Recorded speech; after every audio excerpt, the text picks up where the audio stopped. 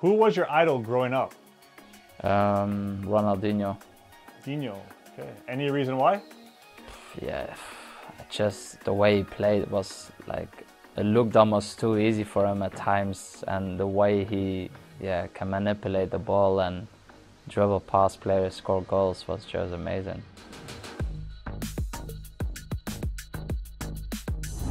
Hey everyone, it's Christopher Spatafor here with Fubo TV, and I am joined today by Belgian international, Arsenal star, Leandro Trossard. How are you doing today, Leandro? Hi, I'm all good, thank you. Yourself?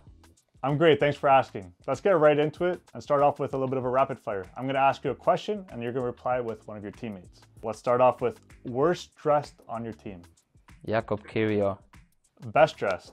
I would probably go with Reiss Nelson. Funniest player. I would give this to Zinchenko. Who's the most underrated player on Arsenal? I would say Thomas Partey. Partey, very talented. Who is the fastest player? Uh, yeah, I think Martinelli. Hardest player to dribble in training? I think Tomiyasu is a tough one. Who spends the most time in front of a mirror? Ødegaard? Who's always late? Doesn't specifically have to be the training, could be even just one going out. Our two center backs are probably one of them. Will, William Saliba or Gabriel. Do you have any pre-game rituals? I like to play, not in the dressing room, but just before, I like to play a game of chess on my phone. Just a quick one here. Who do you have, Messi or Ronaldo? I would go for Messi. I 100% agree. Who was your idol growing up?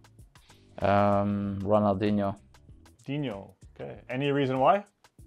Yeah, just the way he played was like looked almost too easy for him at times, and the way he yeah can manipulate the ball and dribble past players, score goals was just amazing.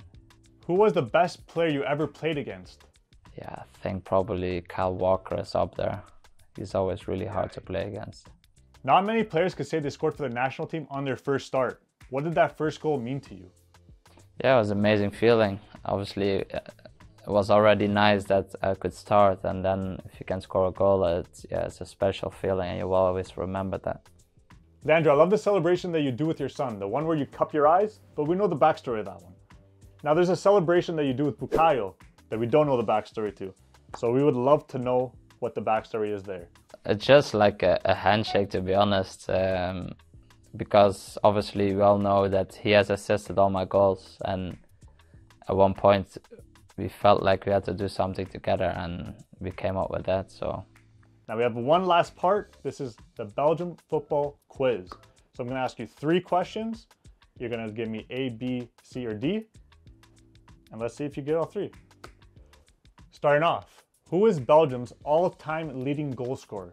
Is it A, Lukaku, B, Hazard, C, Tielemans, or D, Paul van Himst? A. Correct. Who captained Belgium at the 2018 World Cup? Was it A, Lukaku, B, Hazard, C, Kompany, or D, Courtois? B. Yup, two for two. Who scored the match winner against USA in the 2014 World Cup round of 16 game? Was it A, Mertens, B, Origi, C, De Bruyne, or D, Lukaku? It's one of them last two. I think they scored both. But is it? I have to go with Lukaku. Okay, you got them all. You have some great Belgian knowledge.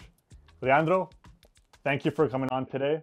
I just want to wish you and the Arsenal team the best of luck on the rest of the season. For you too. Thank you very much.